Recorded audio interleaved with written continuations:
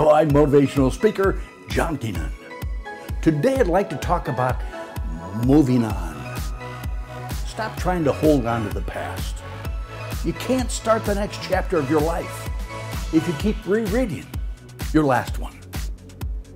Thanks, and remember, perception is just a matter of perspective. Change your thinking and change your life forever.